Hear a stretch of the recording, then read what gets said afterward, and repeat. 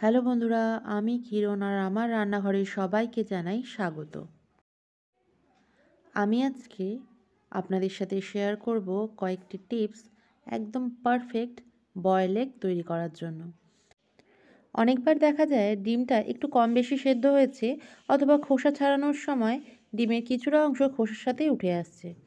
তো সেক্ষেত্রে আমি আজকে আপনাদের কয়েকটি সিম্পল টিপস শেয়ার করব যাতে আপনাদের ডিম সেদ্ধ করার সময় একদম হান্ড্রেড পারসেন্ট পারফেক্ট সেদ্ধ হবে।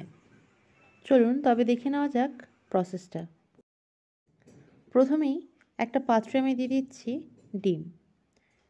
আমি এখানে পাঁচটা ডিম ব্যবহার করছি আপনার আপনাদের সুবিধা মতো ডিম ব্যবহার করবেন। ডিম খুব সাবধানে ব্যবহার করতে হবে যাতে ভেঙে না যায়। ভেঙে গেলে কিন্তু ভেতরের কুসুম সেদ্ধ করার সময় বেরিয়ে পড়বে। পাঁচটা ডিমে পাত্রে রাখার পর আমি এতে দিয়ে দিচ্ছি জল।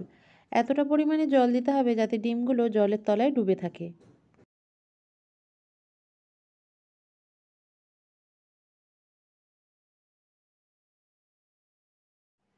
এবারেতে দিয়ে দেবো এক স্পুন নুন। নুনটা দিলে ডিমটা তাড়াতাড়ি সেদ্ধ হয় এবং খোসা ছাড়ানোর সময় খুব ভালোভাবে খোসাটা ডিম থেকে ছেড়ে যায়। এরপর আট থেকে দশ মিনিট ডিমটাকে হাই ফ্লেমে সেদ্ধ করে নিলাম। তারপর ঠান্ডা করে ডিমের খোসাটা ছাড়িয়ে নিচ্ছি। ডিম কোনো সময়ে গরম জলে দিয়ে সেদ্ধ করবেন না, কারণ গরম জলের মধ্যে ডিম দিলে সঙ্গে সঙ্গে ডিমটা কিন্তু ফেটে যাওয়ার সম্ভাবনা থাকে। দেখুন, ডিমের খোসাটা ছাড়িয়ে নিচ্ছি। ভেতরে একটা পাতলা আস্তরণ রয়েছে। সেটা সমেত ছাড়ালে ডিমটা কিন্তু খুব সুন্দরভাবে খোসা থেকে ছেড়ে আসে। দেখুন, ডিমগুলো একদম সুন্দর করে ছাড়ানো হয়েছে। প্রত্যেকটা ডিম কিন্তু খোসা থেকে সুন্দরভাবে বেরিয়ে এসছে।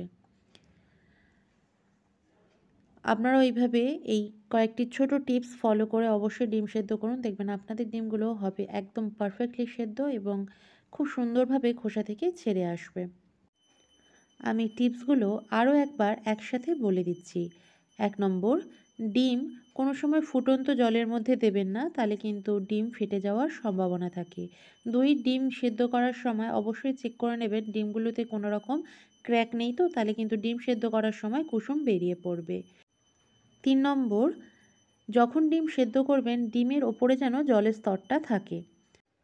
চার নম্বর, ডিম সেদ্ধ করার সময় অবশ্যই এক স্পুন নুন ব্যবহার করবেন। তাহলে ডিমটা খুব তাড়াতাড়ি সেদ্ধ হয় এবং ডিমটার থেকে খোসাটা খুব ভালো করে ছাড়ানো যায়। পাঁচ নম্বর, ডিম অবশ্যই পারফেক্ট বয়েল করতে গেলে আট থেকে দশ মিনিট সেদ্ধ করবেন। তারপর ঠান্ডা করে ডিমের খোসা ছাড়িয়ে নেবেন।